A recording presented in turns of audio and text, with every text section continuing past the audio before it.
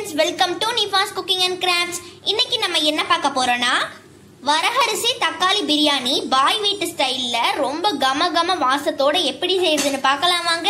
வீடியோக்குள்ள போறதுக்கு முன்னாடி நம்ம சேனல் இது வரைக்கும் சப்ஸ்கிரைப் பண்ணாதவங்க சப்ஸ்கிரைப் பண்ணிட்டு பக்கத்துல இருக்க பெல் பட்டன் அமைத்திக்கோங்க. வீடியோ ஃபுல்லா பாருங்க பிடிச்சிருந்தா லைக் பண்ணுங்க ஷேர் பண்ணுங்க கமெண்ட் பண்ணுங்க.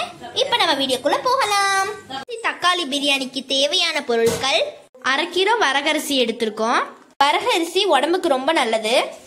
வரகரிசி புழுங்கல் அரிசி இது அரைப்பதற்கு அஞ்சாறு சின்ன துண்டு பட்டை நாலு கிராம்பு நாலு ஏலக்காய். வெங்காயம் ஒரு பதினஞ்சு பூண்டு ஒரு பத்து. சின்ன துண்டு இஞ்சி. அதை துண்டு துண்டா நறுக்கி வச்சிருக்கோம். பட்டை கிராம் கூட இது மூணுத்தையும் சேர்த்து அரைச்சு எடுத்துக்கலாம் பேஸ்டா நாலு பச்சை மிளகாய் மல்லி புதினா. இது சின்ன தக்காளி பொடிசா நறுத்தி வச்சிருக்கோம். ஒரு பெரிய வெங்காயம் அரை லெமன் அப்புறமா தேவையான அளவு மிளகாய்த்தூள் உப்பு. இதை நாங்க பாய் வீட்டு ஸ்டைல தான் செய்யறோம் அதனாலதான் பட்டை கிராம்பு வெங்காயம் பூண்டு எல்லாத்தையும் அரைச்சு சேர்க்கிறோம். ஆஹ், பிரியாணி மசாலா மட்டன் மசாலா எந்த மசாலுமே நாங்கள் சேர்க்க போகிறது கிடையாது. பட்டை கிராம்பு ஏலக்காய் கூட மிளகாய் பொடி தேவையான அளவு காரத்துக்கு ஏற்ப நீங்கள் சேர்த்திக்கலாம். இது கூட இஞ்சி பூண்டு வெங்காயத்தை போட்டு பேஸ்ட் பண்ணிக்கோங்க. தேவையான அளவு கொஞ்சமாக தண்ணி விட்டுக்கோங்க. இப்போ ஒரு குக்கரில் ஹீட் ஹீட் பண்ணிக்கோங்க. குக்கர் ஹீட் ஹீட் பண்ணக்கப்புறமா தேவையான அளவு ஆயில் ரெண்டு ஸ்பூன் நெய். நெய் வந்து ஆப்ஷனல் தான். நெய் சேர்த்துனீங்கன்னா கொஞ்சம் டேஸ்ட்டாக இருக்கும். அவ்வளோதான் ஃப்ரெண்ட்ஸ் பாருங்க. இது நாங்க காய்ச்சின நெய். நெய் நெய் காய்ச்சறத வந்து நாங்கள் கூடிய சீக்கிரமா வீடியோவில் போடுறோம். ஹீட் ஆனதுக்கு அப்புறமா பெரிய வெங்காயம்.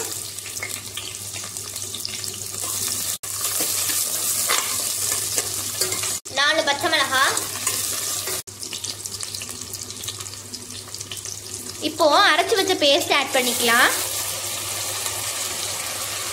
நல்லா எண்ணெய் ஹீட் ஆயிடுச்சு. நல்லா மிக்ஸ் கொடுத்துக்கலாம். அஞ்சு தக்காளி.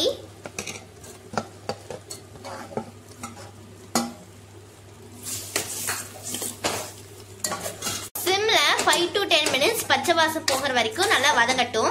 எடுத்து வச்ச கொத்தமல்லியில பாதி புதினாலையும் பாதி சேர்த்துக்கலாம். ஒண்ணுக்கு ரெண்டு அளவு தண்ணி எடுத்து வச்சுக்கோங்க. இப்போ தண்ணி சேர்த்திக்கோங்க. இதில் ஒன்றரை படி எங்களுக்கு வந்து அரிசி இருந்துச்சு. நாங்கள் வந்து ஒரு படி சி மூணு படி தண்ணி சேர்த்திக்கிட்டோம். லெமனோட ஜூஸ் ஆட் பண்ணிக்கலாம். தேவையான அளவு உப்பு சேர்த்திக்கலாம்.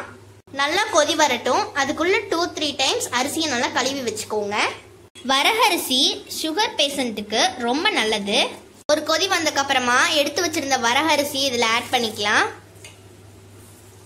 டூ த்ரீ டைம்ஸ் நல்லா வாஷ் பண்ணிட்டு ஆட் பண்ணிக்கோங்க. இந்த ஸ்டேஜ்ல உப்பு காரம்லாம் சரியா இருக்கான்னு பாத்துக்கோங்க. எங்களுக்கு எல்லாமே சரியா இருக்கு. அரிசி வந்து ஒரு விசில் விட்டுட்டு அஞ்சு நிமிஷம் சிம்ல வச்சு ஆஃப் பண்ணிடுங்க. யார் வந்துருச்சு விசில் போட்டுருங்க. விசில் அடங்கிருச்சு. ஒரு விசில் விட்டதுக்கு அப்புறமா சிம்மில் வச்சுட்டு ஃபைவ் மினிட்ஸ்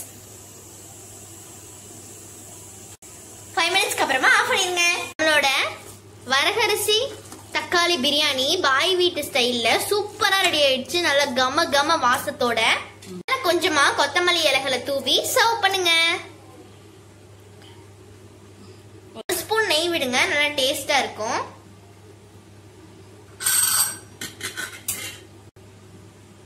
நெய் விட்டு நல்லா மிக்ஸ் பண்ணிட்டீங்கன்னா டேஸ்டா இருக்கும். குக்கர் ஓபன் பண்ணும் போதே உங்களுக்கு கம கம வாசம் வந்துடும் இது ரொம்ப ஹெல்த்தியா இருக்கும். உங்க குழந்தைங்களுக்கு செஞ்சு கொடுங்க. சாமை அரிசி பொங்கல் உங்களுக்கு வேணும்னா நம்ம வீடியோலயே நாங்க சொல்லியிருக்கோம். அதை வந்து நீங்க செக் பண்ணிக்கோங்க. ஃபாஸ்ட் குக்கிங் அண்ட் கிராஃப்ட்லேயே நாங்கள் போட்டிருக்கோம் நிறைய தடவை. இதுக்கு காம்பினேஷனா கொத்தமல்லி சட்னி அல்லது தயிர் பச்சடி வச்சு சர்வ் பண்ணலாம். பச்சை கொத்தமல்லி சட்னி ஹெல்த்தியா எப்படி அரைக்கிறதுன்னு நம்ம சேனல்ல ஒரு வீடியோ இருக்கு. அதையும் நீங்க போய் தெரிஞ்சுக்கலாம். இது ரொம்ப டேஸ்டா இருக்கும். வதக்கி அரைக்கிறத விடவே. இது எப்படி இருக்கு நம்ம டேஸ்ட் பண்ணிடலாம். ரொம்ப டேஸ்டா இருக்குங்க. நினைக்கவே முடியல. அவ்வளோ டேஸ்டா இருக்கு. இதை நீங்க கண்டிப்பா உங்க வீட்டில் ட்ரை பண்ணி பாருங்க. வீடியோ ஃபுல்லாக பார்த்ததுக்கு தேங்க்யூ ஃப்ரெண்ட்ஸ்